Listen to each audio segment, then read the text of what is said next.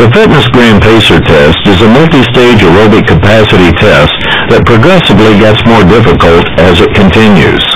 The 20-meter pacer test will begin in 30 seconds. Line up at the start. The running speed starts slowly, but gets faster each minute after you hear this signal. A single lap should be completed each time you hear this sound.